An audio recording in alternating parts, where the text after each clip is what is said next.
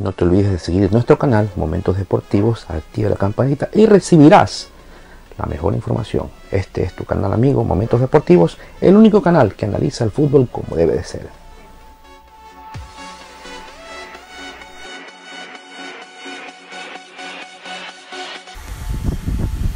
Ya. Muy buenas tardes aficionados, aficionados del fútbol. Este es su seguidor Jimmy Escalante con otro momento deportivo. Hoy Ecuador está disfrutando la clasificación a final. No se olviden, síganme en las redes con el hashtag Momentos Deportivos S en YouTube, por supuesto, con en el canal, suscríbete al canal Momentos Deportivos S, activa la campanita para que recibas justamente las notificaciones de todo video nuevo que se suba al canal. En Twitter también con el hashtag en Twitter y en Instagram con el hashtag Momentos Deportivos S. Ecuador, como dije eh, al iniciar, está festejando, no es para menos, una clasificación a cuartos de final en la Copa Mundial Sub-20.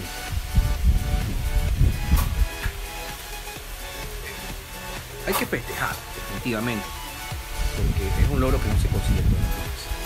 Pero hay que hacer el análisis correspondiente porque no se le puede mentir al hincha.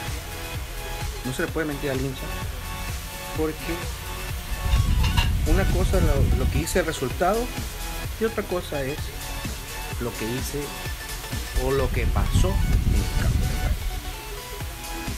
de juego. Inició justamente cauteloso, pero el típico, el típico miedo escénico que tienen los jugadores.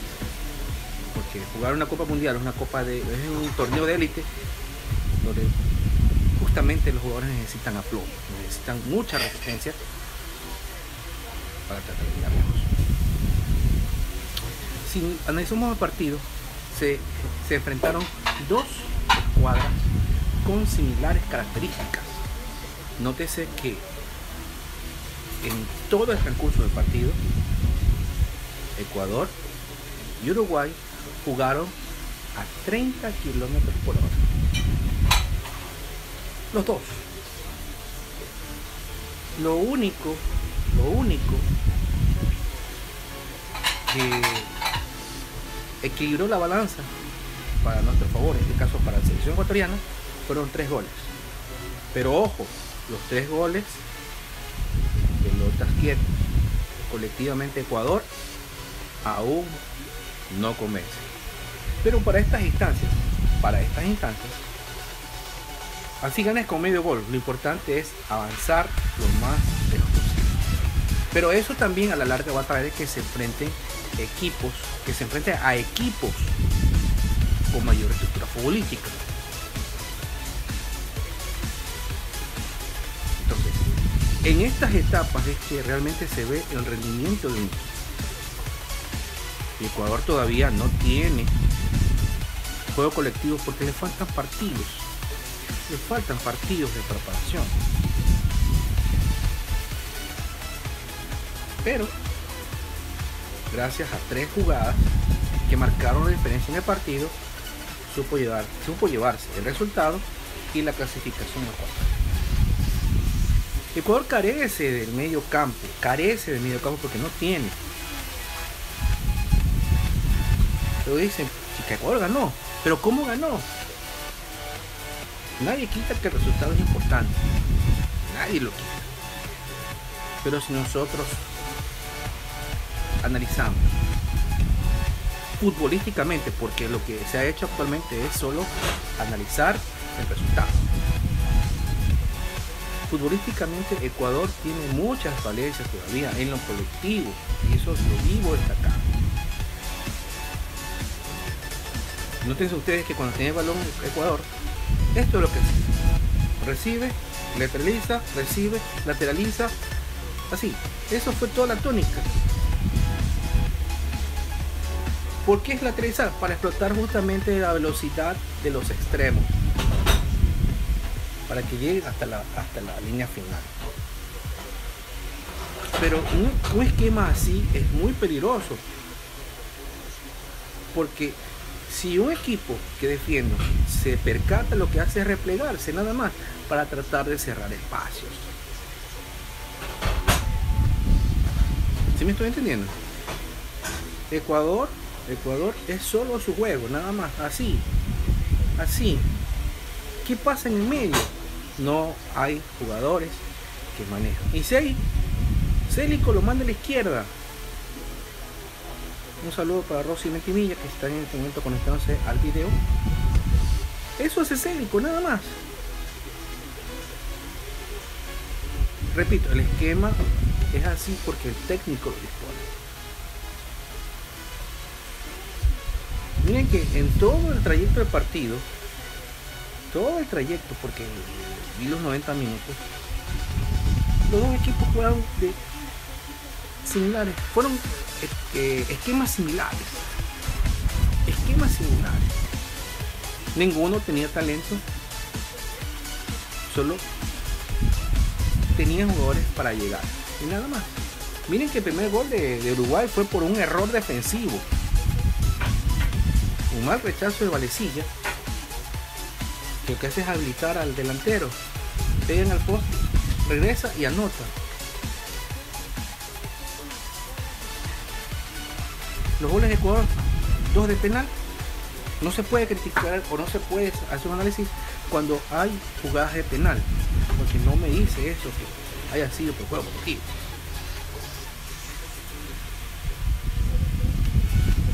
Si analizamos los cuatro goles de Ecuador, dos de penal, uno de jugada, que fue la que hizo Gonzalo Plata, y uno de un rebote, de un tiro de esquina, un mal rechazo y lo que hace Quintero es rematar con todo el arco a su disposición y anota. Es que hay que hablar la verdad.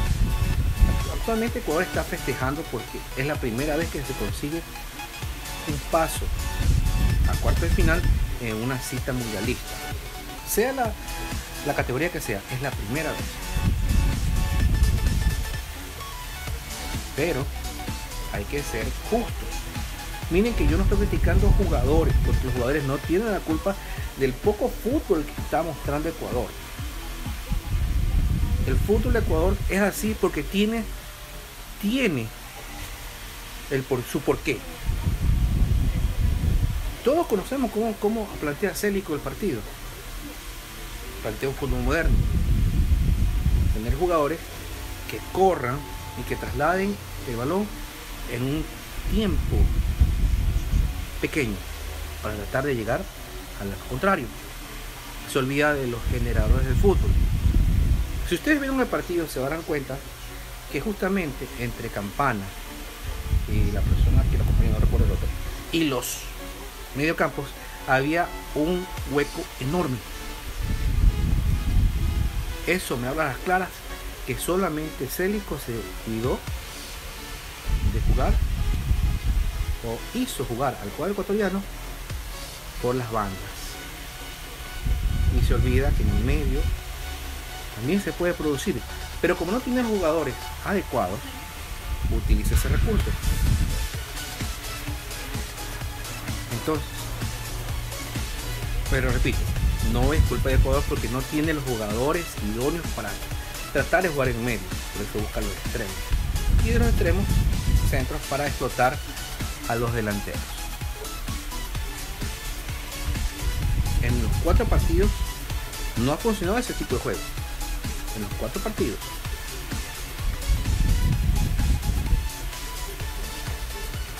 Así que no puedo decir que Ecuador colectivamente es un super equipo que está para ganar la copa. No puedo mentir a la afición porque realmente no lo tiene. Repito, el resultado es muy importante porque se basa a una instancia muy decisiva que son los cuartos. Pero hay que ver qué pasa en los cuartos de final, con qué equipo nos toca. Y si ese equipo tiene gran manejo de balón a alta velocidad, gran manejo de balón a alta velocidad, y es contundente, nos puede pintar la cara. Y Ecuador tiene muchos problemas defensivos. todo eso hay que analizar justamente cuando hay partidos de esta naturaleza. El torneo es corto, se gana como sea, pero también hay que ver que un equipo, si quiere llegar a instancias finales, tiene que demostrar una estructura futbolística en sus tres líneas. En este caso, la defensa, medio y delantera. Ecuador tiene buena defensa y buenos carrileros o volantes volantes por los extremos para hacer por el lado mejor volantes por los extremos y delanteros pero en la media no hay nada. Ecuador hoy jugó a 30 kilómetros por hora Uruguay también. Digo la única lo único que marcó la diferencia fueron los goles nada más. Dos que fueron por errores, uno por parte de Ecuador cuando anotó Uruguay, otro por un mal rechazo de, de si no me equivoco fue de portero, que la dejó libre para que Quintero remate, y los otros dos de penal, y para de contar. Colectivamente ninguno de los dos equipos se hizo muchos años. Uruguay se regresa, pero por tiene que continuar. hay que qué pasa No puedo cambiar la actitud del jugador para que juegue colectivamente bien, porque eso es un proceso que lleva muchos partidos. Lleva muchos partidos. Un saludo para Héctor Andrade que se acaba de conectar al video. Y pensé, volviendo otra vez. Un equipo necesita muchos partidos justamente para que gane ritmo colectivo. Ya olvídense de eso que hay que, hay que juntar 11 y salgan a jugar. No, eso no aplica. Por eso hay un esquema que plantea el técnico. Pero eso es todo, no hay más. Ahora, miren que todo el video no ha de campana. Y estoy viendo en redes todo el mundo le ataca campana, que todo el mundo le dice que no sirve, que está por gusto. No, señores, eso no es así. Campana es un jugador en formación. Y si se pierde es culpa de la hinchada, de ustedes, señores hinchas. Porque como no saben de fútbol, ustedes piensan que si un jugador hace dos, tres goles ya es una estrella, no un jugador, aparte de hacer goles, tiene que compenetrarse un esquema de un esquema de fútbol, un esquema de juego. Pero también depende de que todo el equipo juegue. ¿Se ha visto eso en Ecuador actualmente? No. Porque el fútbol de Ecuador es solo eso mueve balón, mueve balón, mueve, retrocede, mueve, corre. Y para de contar. Miren que ni siquiera hay pocos remates en el centro. Pocos. Pero sin embargo, los ciegos en fútbol dice que Ecuador dominó en todo el partido, que fue superior, y no es así. Tuvo el mayor tiempo de balón en sus pies. Pero no pasó nada. No, no, llegó a hacer daño como debería hacerlo. Entonces, sí preocupa lo que pueda pasar en cuarto de final si se llega a enfrentar con un equipo que tenga una solidez futbolística en todas sus líneas. Miren que estoy diciendo, en todas sus líneas. porque un equipo así le puede pintar la cara al equipo ecuatoriano. Y los primeros en criticar van a ser ustedes, señores hinchas.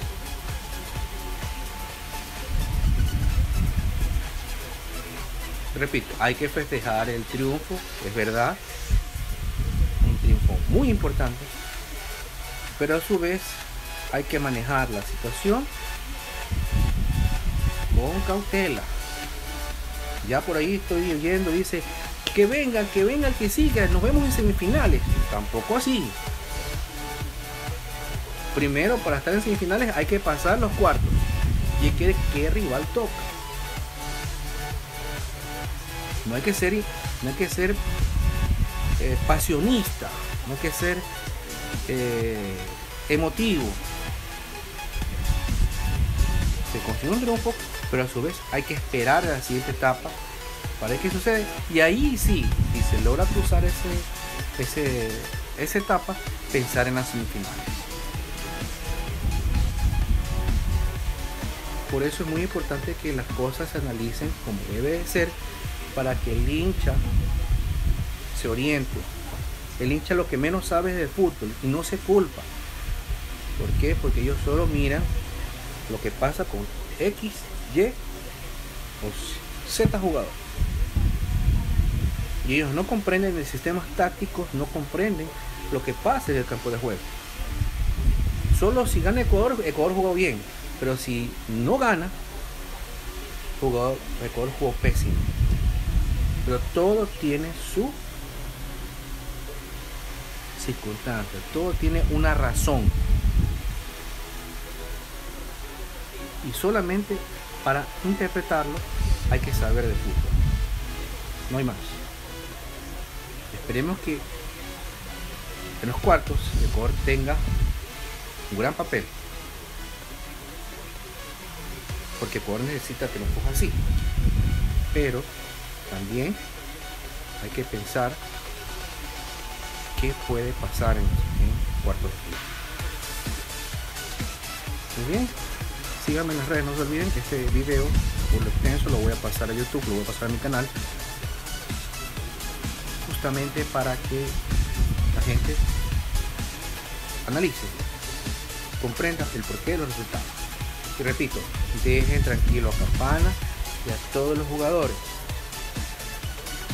Un jugador no es un equipo, pero sí 11 jugadores cuando compactan su juego. Entiéndanlo, señores, entiéndanlo. Toda la vida, Wicha hace eso lo pone acá arriba a un jugador y cuando no funciona lo ponen abajo. Y eso hay que cambiarlo. Muy bien, síganme en las redes, no se olviden. Síganme en YouTube con el canal Momentos Deportivos ese el único canal de análisis y opinión. Análisis y opinión. Si desean dejar mensajes justamente para hacer nuevos videos, lo dejan en los comentarios. Y podemos hacer futuros videos para la gente empiece a debatir y también a aprender de fútbol. Nos vemos, este es su servidor Jimmy Escalante. Nos vemos en otro momento deportivo. Saludos.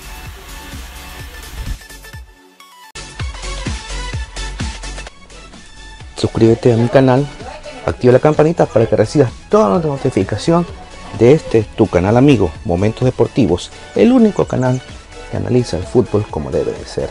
También me puedes seguir en Twitter con el hashtag Momentos Deportivos.